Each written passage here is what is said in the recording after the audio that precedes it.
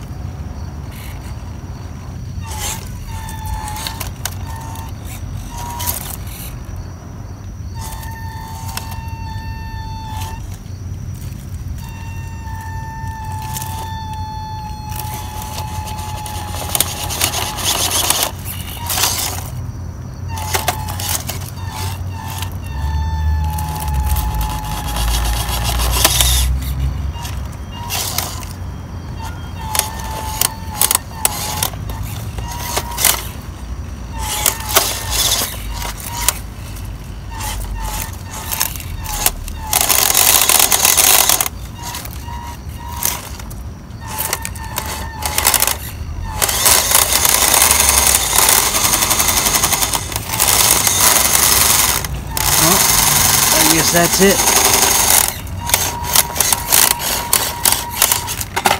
Oh! Oh, look at that. And we broke our drive shaft. Oh, wow. I guess this thing is pretty cheap after all. Alright, so after closer inspection, I guess uh, I didn't really break it. I just popped the little drive shaft off of the holes here and see if I can't pop it back on. Oh. I think I'm gonna have to go home and do this fix at home. Alright, well anyways, thanks a lot guys. Uh, maybe this thing is to be a lot better with the bigger motor and the two-speed transmission and the middle gears. Uh, should hopefully, uh, I'll be getting it this week and we'll be putting it together so we get a quick video out for you guys. Again, big thanks to Seattle Big Bebop 2. Thanks a lot guy for your tip.